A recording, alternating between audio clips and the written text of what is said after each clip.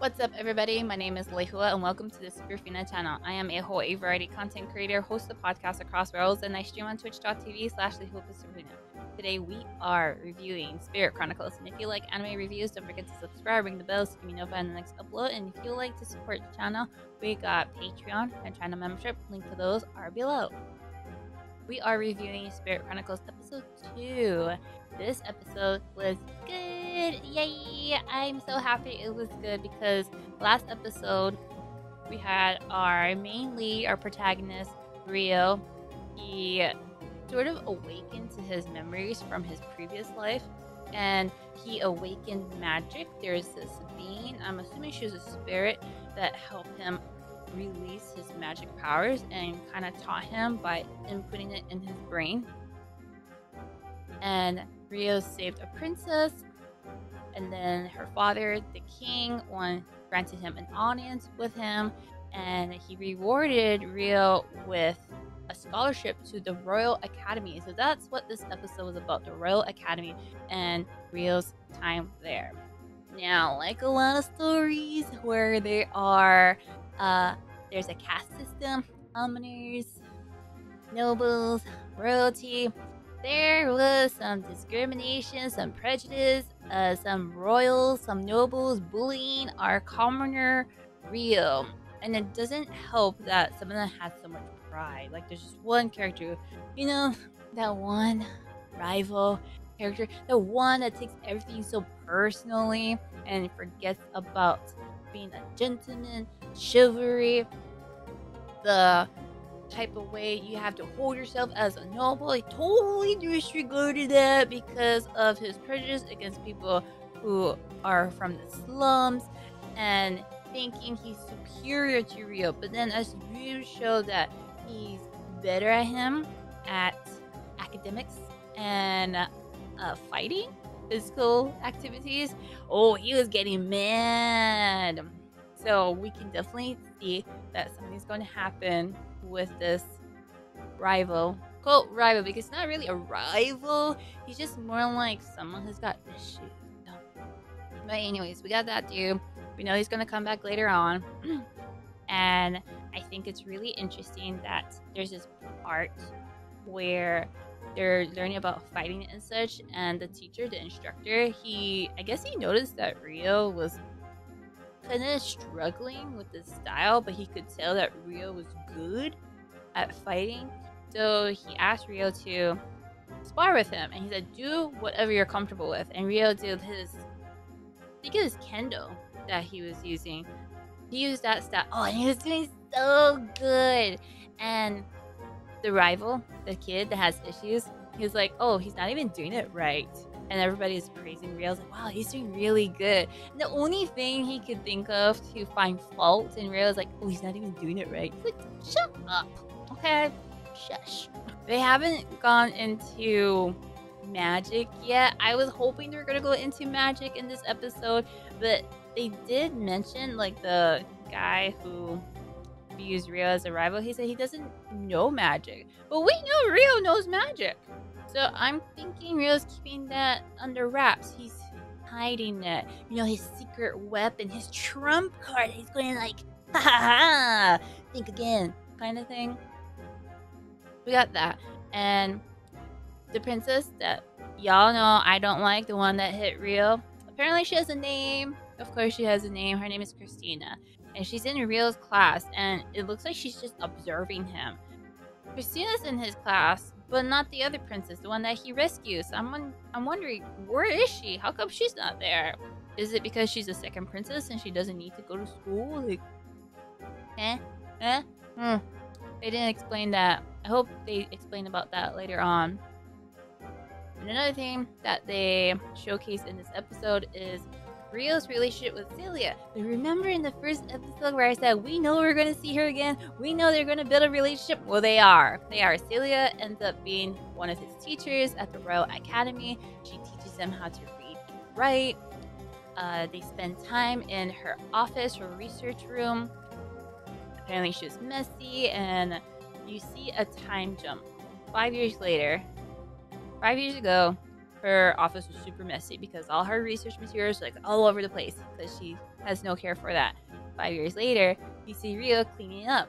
He cleans up for her, and they always have tea together. So we see that they develop a strong relationship, and it's interesting because I believe she's older than Rio, and she, they talk about friends. And when they talk about friends, and Rio says, "Oh, do you do you want us to be friends?" She's like, "Yeah, I want you guys to be. I want us to be friends." And then she does like that side eye look, where it's like, "Yeah, I want to be friends, but I kind of not want to be friends." And not want to be friends, meaning she wants to be more than friends, but they can't be more than friends at that time because they're teacher and student. It's a no no. No no. Well, to me it is. Maybe there it's not. I feel like there has to be like a boundary. No favoritism, Celia, okay? It's gonna cause problems for real. You know what I'm talking about, right? Where say that someone has a crush on Celia or someone wants to be praised just as much from Celia, but then she always praises Rio. And then those people who vied for attention resent Rio and then they target him and bully him. And the root of it was her. So I think that's why there should be a line. Interesting. Anyways, besides that, then the end of the episode, we have a tournament, a fighting tournament. And Rio is in it because he's good at fighting. Mm-hmm, yes. Our protagonist is good at fighting. Yay! And then the one who views him as a rival, and that kid's Blackie. They're in the tournament too. Apparently, they were fighting against knights, which is interesting. Uh, I'm pretty sure they explained it in the anime why this tournament was made, but I find it interesting that they had kids fighting adults, like experienced adults. Like, or is this supposed to be just for show? to me, it looks like it's how they're evaluating their future knights. Uh, but the thing is, Rio said he doesn't want to be a knight. He doesn't want to be one, and I think I know why. It's because he doesn't want to be restricted to that kingdom. He wants to be able to be free and explore, discover, search for his mom's home country, which is called Yagumo, and find his mother's killer. Because in the synopsis, they talk about how Rio's looking for his mother's killer. He's trying to avenge her. So I think that's his like main main main goal. And to do that, he can't stay in the kingdom. Nope, cannot. Anyways, so they're in the tournament, and Rio's opponent was the vice captain that tortured him. Yes, yes, Rio kicked his butt. Yes, and um, you know, Rio's like, "Oh, thank you for what you did five years ago," and the other guy's like, "Hi, we meet again." and the way Rio was talking to him provoked him. And you hear the vice captain's monologue, his thoughts in his head. He is like, Because of you, I was demoted for five years. Because of you, I was humiliated. And it's like, Oh, come on now. Hold yourself accountable for your actions, for reals. Um, we can see how your mind is, and you're dumb. So dumb that at the end of the episode, we see him and this other guy, this other guy that had red eyes, very similar to a hooded person that we saw in the last episode. This guy with red eyes was drinking with him, drinking with him. The vice captain was intoxicated and was just blabbing all kinds of stuff and revealed that Rio was there in the incident when the princess was kidnapped.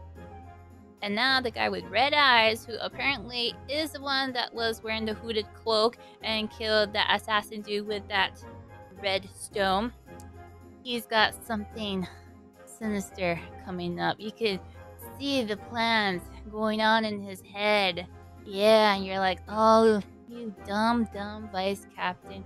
You just gave the enemy info, and you, you were playing like a fiddle. Mm-hmm. The way he was pouring that cup with straight alcohol in. Mmm.